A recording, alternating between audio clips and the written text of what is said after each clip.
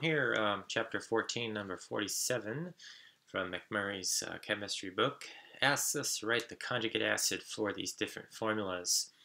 To write the conjugate acid, you basically need to add H plus to your molecule. Um, what this means is that we add an H,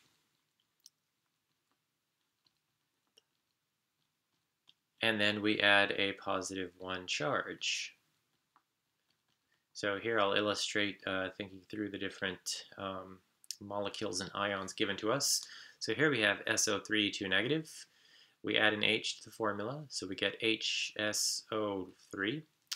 Alrighty, and we start out with a negative 2 charge. We add a plus 1 charge. So negative 2 plus 1 is minus 1. So we write a minus here for this polyatomic ion. Here we have H2O, we want to add H to the formula. All right, we're starting out with a neutral molecule since there's no charge shown.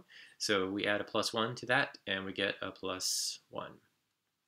Here we have CH3 NH2. In this case, uh, we normally add it to the end next to the nitrogen. So here we have CH3 NH3. Okay, it's starting out neutral. We add a plus 1 charge, so we're going to get a total charge of plus at the end. Here we have OH minus. We want to add a hydrogen.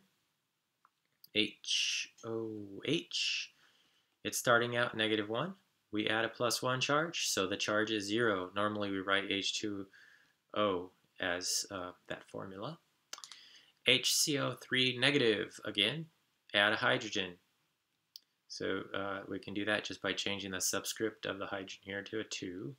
So it's H2CO3. We're starting out with a negative 1 charge, and again, we're adding a plus 1 charge. So negative 1 plus 1 is 0, so we don't need to indicate a charge. This is neutral carbonic acid. Here we have H minus. We want to add a hydrogen, so we can do that by uh, just changing the subscript here on this hydrogen atom.